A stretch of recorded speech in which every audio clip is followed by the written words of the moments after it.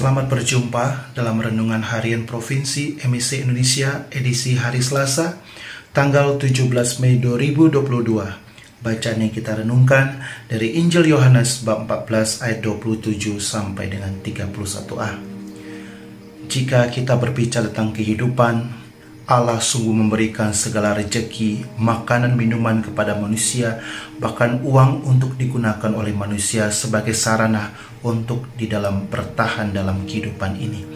Tetapi sering kali banyak anak-anak Tuhan yang terjebak dengan harta kekayaan yang Tuhan berikan kepada mereka.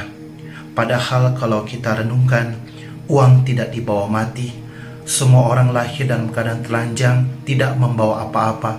Ketika berpulang kepada Tuhan pun juga tidak membawa apa-apa. Umat yang dikasihi Tuhan, pada hari ini Yesus memberikan sesuatu yang terbaik kepada para muridnya sebelum dia naik ke surga, yaitu damai yang tidak pernah akan diberikan kepada dunia. Damai sejahtera bagi seluruh orang-orang yang percaya kepada Kristus.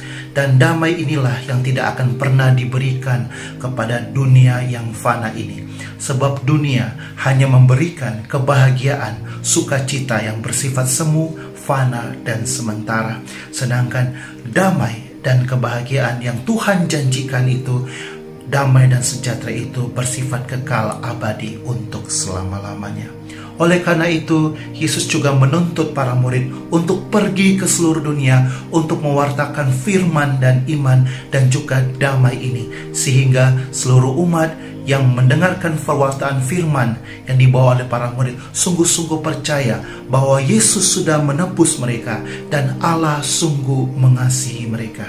Dan perintah ini juga sungguh dilaksanakan oleh Santo Paulus ketika dia berani meninggalkan manusia lamanya dan pergi mewartakan Kristus. Dulu adalah seorang Saulus, seorang yang berusaha menghancurkan umat Allah, jalan Tuhan, tapi dipakai oleh Tuhan dengan sangat luar biasa untuk mewartakan firman, untuk mewartakan iman, untuk mewartakan sukacita kegembiraan, untuk mewartakan damai dari Tuhan sendiri yang tidak pernah diberikan oleh dunia.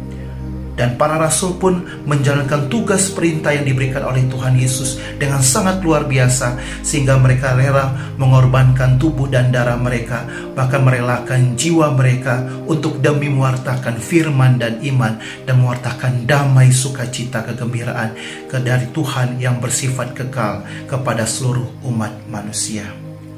Saudara-saudariku yang terkasih dalam Kristus Tuhan, umat Allah yang dikasihi Tuhan, Dunia memang menawarkan segala kenikmatan, kesenangan, menawarkan segala kebahagiaan, tetapi dunia hanya menawarkan kebahagiaan yang bersifat semu, bersifat fana, dan bersifat sementara. Banyak saudara-saudara kita yang seiman, anak-anak Tuhan yang terjebak di dalam kebahagiaan yang bersifat semu dan sementara ini mereka berpikir bahwa apa pun yang mereka punya, apa pun yang mereka miliki, itu adalah sumber pegangan bagi mereka untuk kebahagiaan di dunia yang fana ini. Semua itu adalah salah. Yang seharusnya yang kita pegang adalah kebahagiaan kekal, sukacita, damai yang Tuhan janjikan. Oleh karena itu, kita sebagai anak-anak Tuhan yang sudah dibaptis, seharusnya kita mengejar kebahagiaan kekal ini, mengejar damai, sukacita, kegembiraan yang Tuhan janjikan kepada kita. Dengan cara apa? Dengan berjuang untuk hidup lebih baik lagi daripada hari-hari yang sebelumnya.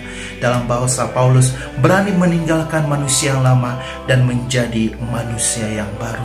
Mari kita berjuang, masih ada kesempatan, masih ada waktu. Mari kita berjuang untuk menggapai kebahagiaan, sukacita, dan damai sejahtera yang kekal yang berasal dari Allah sendiri.